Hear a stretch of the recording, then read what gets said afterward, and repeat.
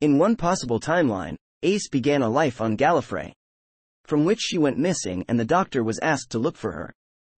Benny was then sent to look for her. Benny followed a trace of Ace to Attilan where Ace had left some Nitro 9, proving that she was there. Benny then discovered that Ace had transmatted somewhere. Ace was stranded on a forbidden world which was trapped in a decaying time lock. She lived in a 24-hour time loop, which meant she and Benny had to live through it with no memory of previous days. On the planet, there was a set of ghosts that randomly appeared and she had to evade each day. She tried to get Benny to trust her again. She got angry that the doctor sent Benny to find her. She tried to warn Benny about Clinus. When Benny wanted to get into the abandoned city, Ace tried to stop her from doing it. At the academy, she was given the planet of Talmason to watch over. Visiting Earth to catch up with her mother, she discovered that she had died from cancer. When she returned, she discovered that Talmason had been wiped out by the Daleks, prompting her to wipe them out by time-locking Skaro with an Omega device. Ace was sent by the doctor to follow Harmonious 14 Zinc to Eritune and was imprisoned with a nameless tracer who had taken human form. There, her memory was wiped by the robotic constables, but she was rescued by the doctor, who planned to restore her memory with the help of the TARDIS. Ace later saved Benny from being trapped in a pyramid on Mars.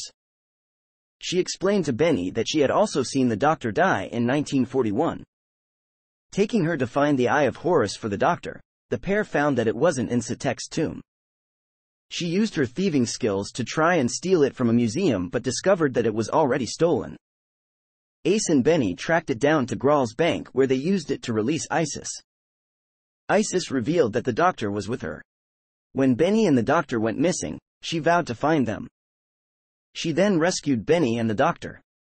On seeing Sutekh's devastation, she thought that the doctor had gone a grand scheme too far.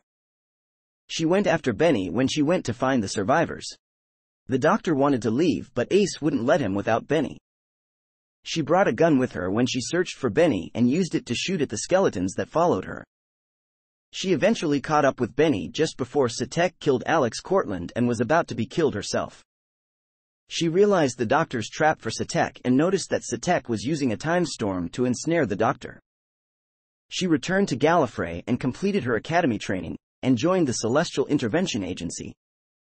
She undertook many missions for them, often to avert civilizations from discovering time travel, but was annoyed that her TARDIS had a working chameleon circuit, making it difficult to find in the field, and wished it could just appear to be an old police box. At some point during her time on Gallifrey, she was tasked with alerting the Doctor and Rain Creevy that the reborn Master had stolen the dimensional nodes from the vault on Tursurus.